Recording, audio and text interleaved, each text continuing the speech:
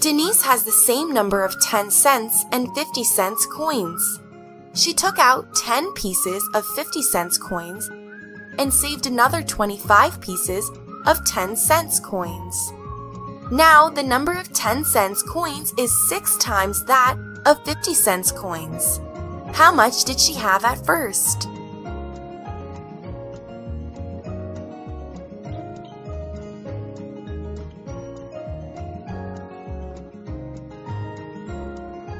How would you draw the model diagram to represent this information?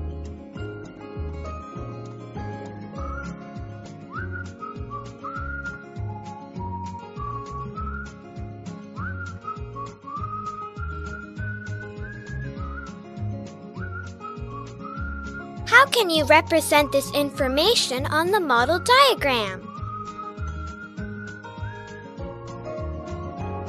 I can say this amount is 6 units and this is 1 unit. How many units is this part?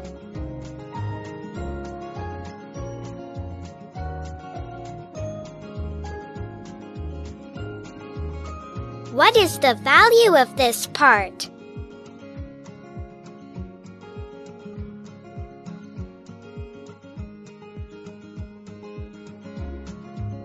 How much did Denise have at first?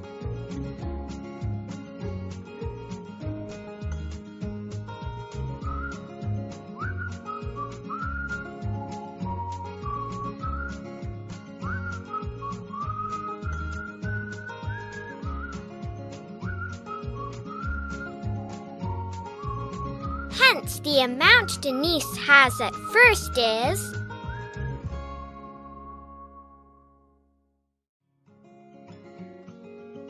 dollars and twenty cents. Can you solve the next problem on your own?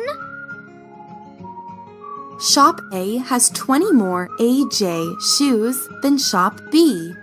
When Shop B sold 31 AJ shoes and Shop A received new stock of 21 AJ shoes, the number of AJ shoes in Shop A is five times the number in Shop B. How many AJ shoes were there in Shop A and Shop B? Pause the video to solve the problem.